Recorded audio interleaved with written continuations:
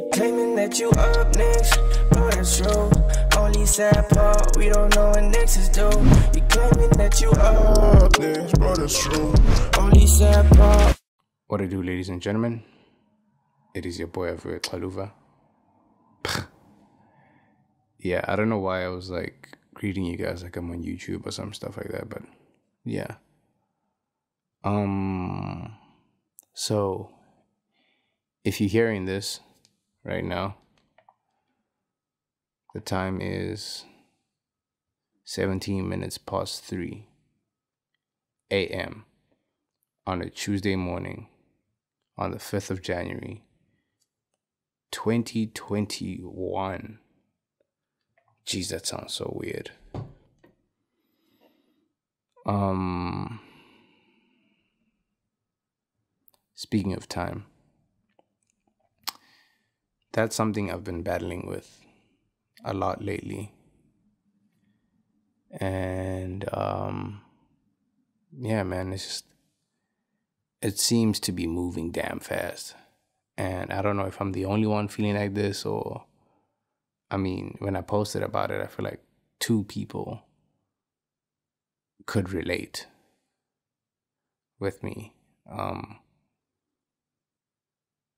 one of them, I think, is turning 26 this year, and they have honestly no idea how the fuck they got there.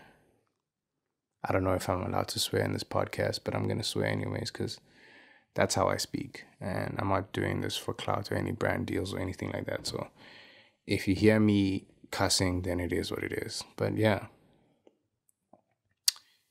this gentleman was just speaking to me about how he also doesn't act, he could relate because like he's turning 26 this year and he doesn't feel like he has everything figured out.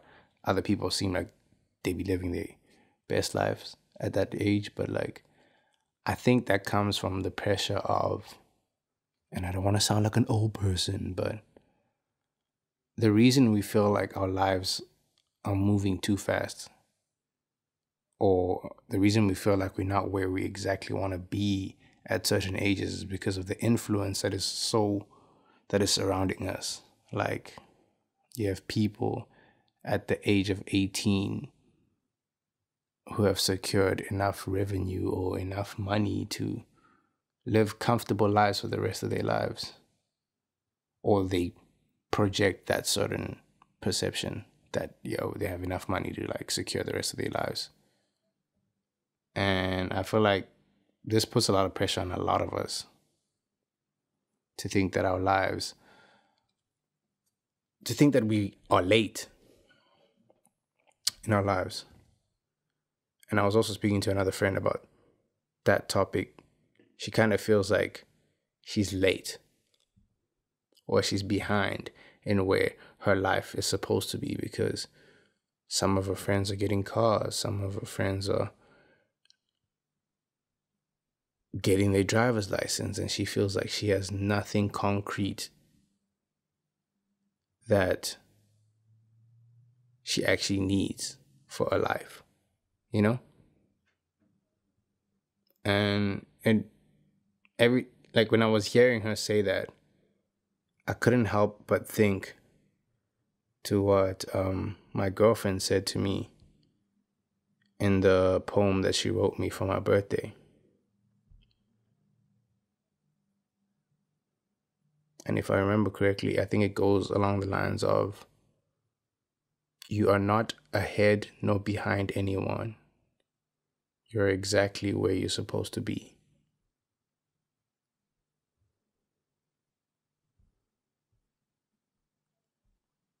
Like, if you really think of that,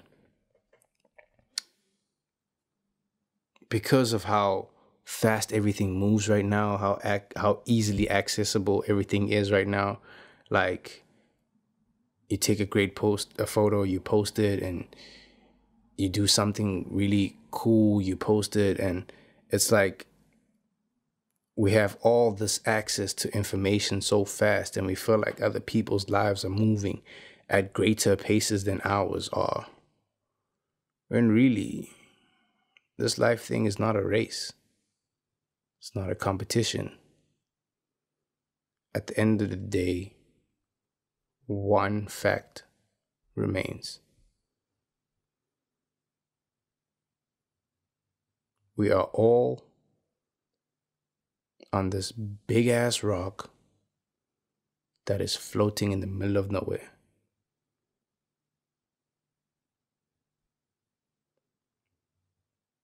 And we really, really, really do forget that. Like Instagram, YouTube, Facebook, all these things, they actually really distract us from actually realizing that we are on some random ass rock in the middle of nowhere.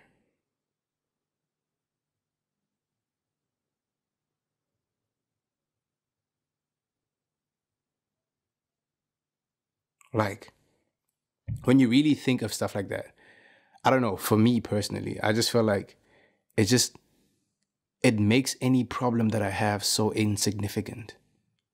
Like, really. Like failing a test becomes so insignificant because yeah in the perspective that you have right there and then it's like damn i failed this test. My parents are going to issue me my mates are probably going to laugh at me. Well that was like the mentality before you get to varsity because when you get to varsity you know you you failing is so normal in varsity. Like that is one place where failing is accepted. Like it's accepted. But yeah realizing that we are in this one floating ass rock in the middle of nowhere just makes everything that we think is so powerful and holding us down so meaningless to me. Because, dude, you're obsessing over things that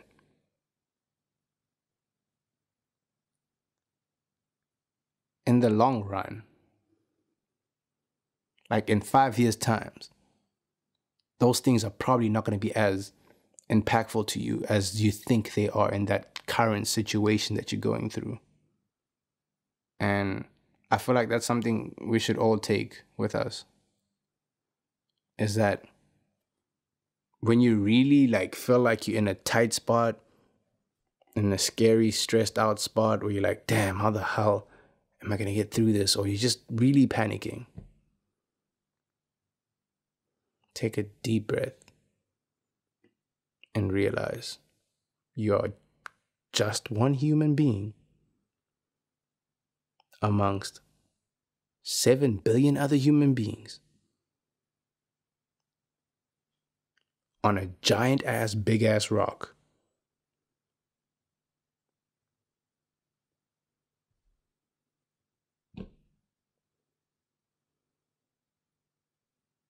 That's what we are. That's what we are.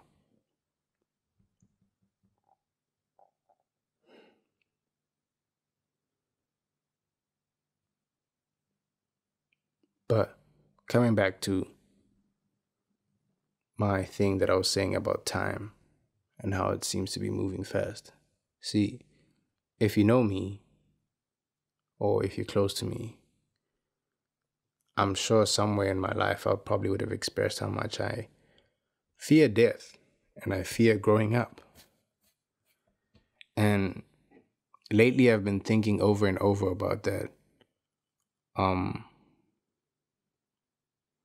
it's like I don't even really understand if I really fear death itself, like the action, the event of me dying, or I fear not being alive anymore or I fear being forgotten.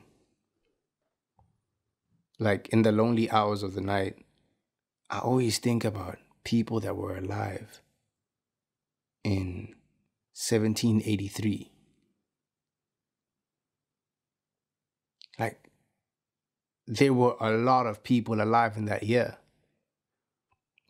all of which are no longer. Only a select few are remembered. And most of them are probably white dudes. Because white dudes mostly colonized them the bigger part of the world and they pushed whatever propaganda they had onto all the colonies they colonized. So colonies they colonized is that a thing? I don't know. Anyways. But yeah, man. Like I said, um so my name is Aviwe Xaluva and you're listening to Broken Compass, the podcast with no direction, because it's a broken compass. And you can't really find direction from a broken compass. Yeah. I don't know if I had to explain that, but like, I think I felt like I had to, because, yeah. Yeah. Yeah. Man. Um, my plan with this podcast is just to speak my mind on topics that I that come to mind that I feel like I want to speak on. Honestly, I feel like it would be way better if I had um, a co-host of some sort because I feel like if you've ever engaged in a conversation with me, um, I feel like I'm really good at bouncing off someone when we're talking about really serious topics. I really enjoy talking about serious topics for some reason. I like stimulating my mind sometimes. Um, as goofy, as weird, as crazy as I am. But sometimes I really, really like feeding my mind. Not with books, I don't know why, because I can't read. I can read, but I have this deep insecurity about reading. Like, one factor is me failing grade one because I couldn't speak English. And what that kind of did to me was I never truly felt like I knew English because of that event in my life of me repeating that grade. Um, so much so I, I, I hated reading in class. I dreaded it. And my way of combating that is that I would kind of guess what the words would say instead of actually reading. And I see that till this day that when I'm reading something, I low key my mind just guesses what it's if it sees like some sort of shapes, it gives it whatever name. I don't know if that's an illness or dys- dyslexia or some shit like that. I don't know, but like, ah, it just guesses. And right now, it's like beyond my control. It's like it just happens. It's not like I'm like, oh yeah, I'm just gonna get like, like I think I'm reading is for real, but like I'm just guessing. Anyways, I got di- distracted as hell, and I don't know where the hell I was going with that, but yeah, I have no idea where I was going with that. That's gone now. I also have like a really short memory. Like I don't know what's happening but it's not as you know what? I was testing this out so if you actually ever get to hearing this then that's super cool. If you don't then this is probably going to be deleted and it'll cease to exist and sort of like how we're all going to be. Eventually one day we're going to be deleted and nobody's ever going to remember that we ever existed just like that's what that's the potential that this recording has too. That's low key kind of beautiful and scary, but I think it's low key kind of beautiful. But yeah, man.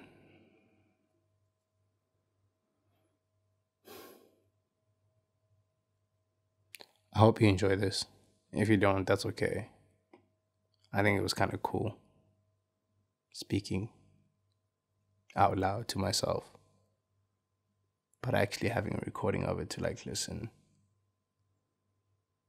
Yeah. Shout out. If you made it this far, you an OG.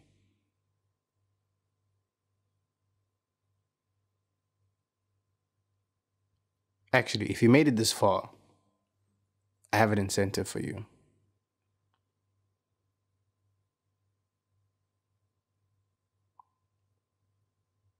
If you guess what hospital I was born in, in PE, I'll give you a hundred bucks.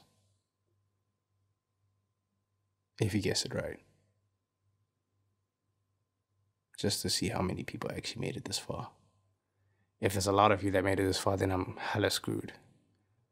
But I'm sure they wouldn't be. So yeah. Thank you for listening if you did. Um it's your boy Aviwe Xaluva, and you're listening to the Broken Compass podcast. Got this shit lit. Oh, for one, that's a set I represent.